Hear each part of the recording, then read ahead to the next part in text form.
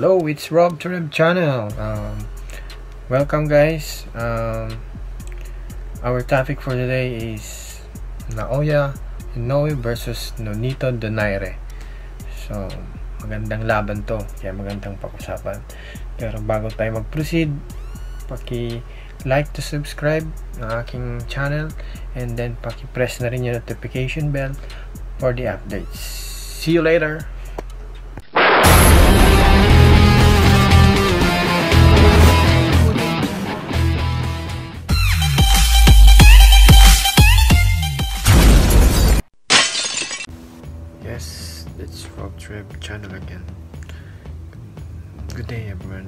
Um, the most anticipated fight between Nonito Donaire Jr.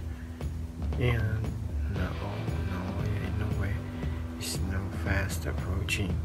So, guys, um, tulungan niyo ako himay-himayin natin ang bawat um, areas of their expertise Ah, para makita natin kung sino pa ang Yamado, sino ang Dehado para natin karoon tayo ng mga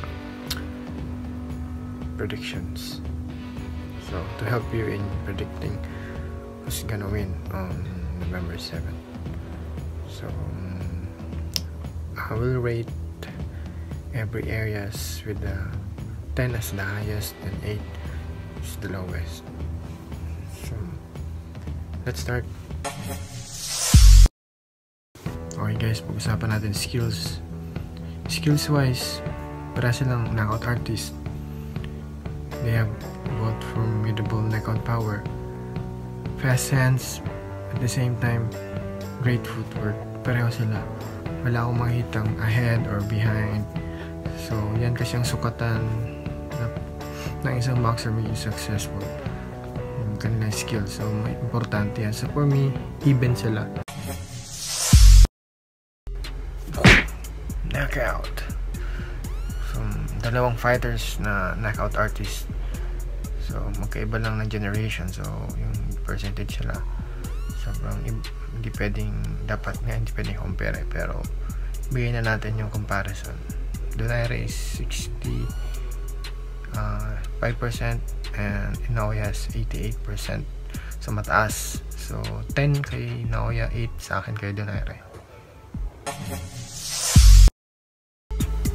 Okay, accuracy.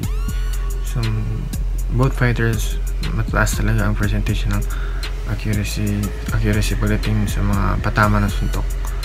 So, Donaire, master niya talaga. Very accurate siya pagdating sa left hook.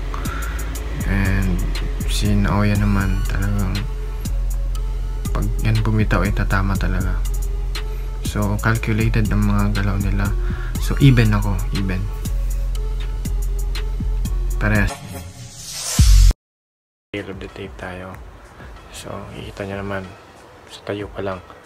Talagang makikita yung malaki si Donaire. So, ang height niya kasi dito is 5'7 compare kay Naoya na 5'5 lang and sa reach din mas matahaba rin ang onti si Donaire so yun yung mga advantage niya kay Naoya so sa win-loss record din syempre mas malaki ang experience ni Donaire sa mga laban so 10-8 tayo 10 kay Donaire 8 kay Naoya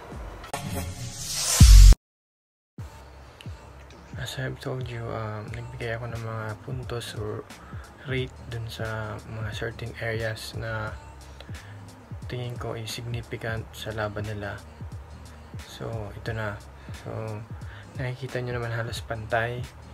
Pantay ang ano nila, ang scoring. So, ang nung tinabulate ko siya, almost even talaga 48 points may mga cer- may certain area na lemado si Naoya may certain na lemado si Donaire so all in all pag tinotal natin halos even lang talaga so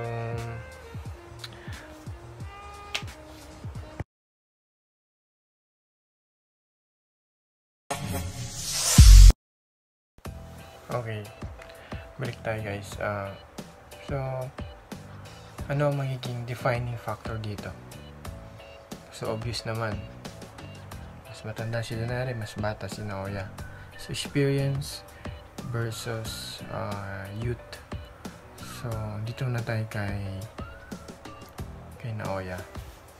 Si Naoya Inoue is ano siya eh, fastest rising star siya eh, superstar ng boxing eh. Ang bilis niya kasi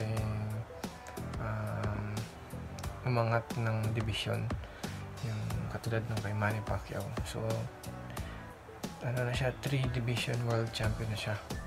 So, talagang bibilib ka rin sa batang to. So, ang ang pinaka mataas na weight niya ngayon is bantamweight pa lang. So, sa quality of opponents, alam ko may mga natalo na rin siya mga world champion. Uh, pero compare kay Donaire, mas yung quality ng opponents niya is lesser pa. Sa tingin ko, hindi pa siya yung talagang malalakas na na boksingero. So, pag sinabi nating youth, nasa prime siya, nakas, nasa kasagsagan siya ng kanyang kagalingan o ng skills niya sa boxing. So, talagang pag tinanong mo, kahit sino tanungin mo, mas liyamado si si ano si Naoya. Pero kung titingnan did, ididip ididigdip natin um, wala pa siyang nakalaban na same caliber with Donaire um, talagang matibay may punching power din tsaka may talent din. In, in, inborn talent din na para silang talented na wala sa ibang mga boxer gifted sila pareho so talagang isang malaking challenge din to kay Naoya. At isa pa, kung babalikan natin yung history, uh, teacher niya si Donaire, student lang to si Naoya. So, andun yung intimidating factor. So, once na nagharap sila, meron, andun na yun eh. Psychological yun. Andun din yun sa isip niya. So, makikita natin dito kung gaano talaga siya kalakas. So, paunahan na lang yun eh. Kung sino unang makabigay ng power punch makakonect siya nanalo? So on the other hand dun tayo kay Donaire si Donaire naman syempre experienced fighter yan. Pero dahil sa edad niya may question na rin. So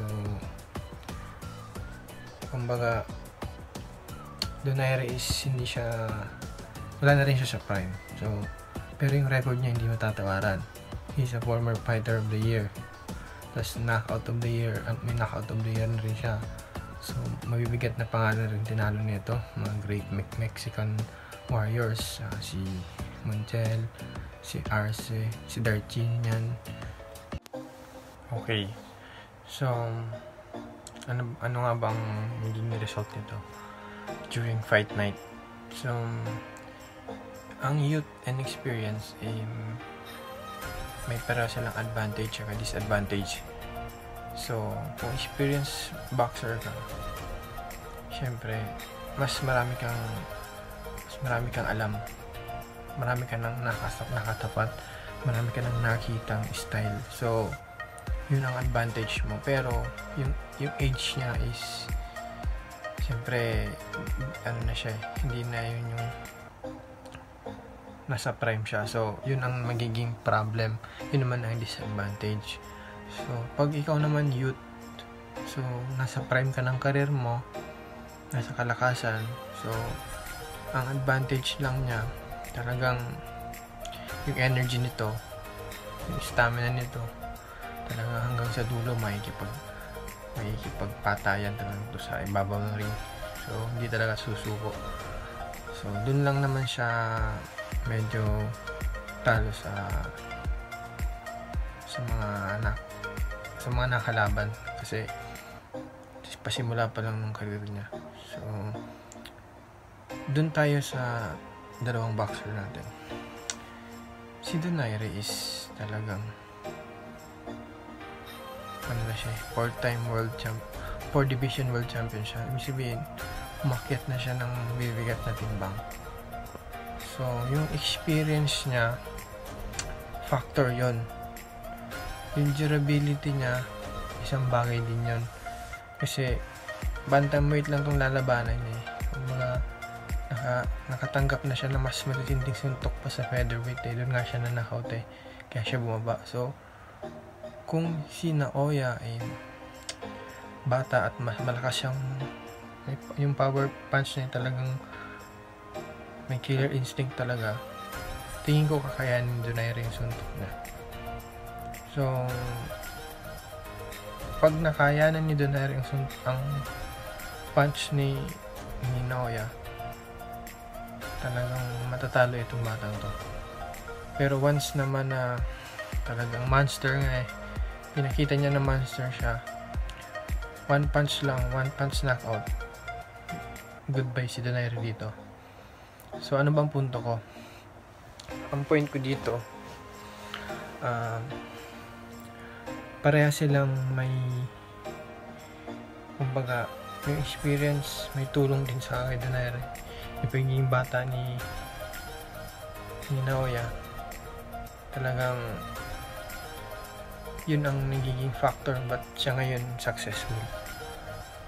So ang magiging problem lang dito during the fight night kung yung mga strength nila na yon talagang magagamit nila or may papakita nila. So 50-50 ang laban na to. So kaya na-anticipate to na marami. Kasi talagang hindi lang dun sa karangalan ng bansa kundi yung Ali Trophy pag nakakamit mo yun isang mga defining moment din yun ng career ng isang boxer at saka isipin mo buong bantamweight ikaw ang champion. So, si Naoya uh, nakikita ko um, hindi siya hindi siya maging aggressive dito. And Donaire is counter-punching ang counter-punching ang kanyang magiging bread and butter dito. At the same time, left hook. Counter left hook. Yun ang talagang kanyang nakikita kong weapon niya. So, Fearless Forecast 50-50 talaga eh.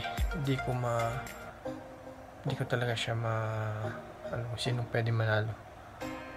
So, unang matamaan ng knockout punch, siya mananalo. Ay, este, kung sino yung unang makabit, makabit, makapatama ng pinaka effective na suntok, siya mananalo.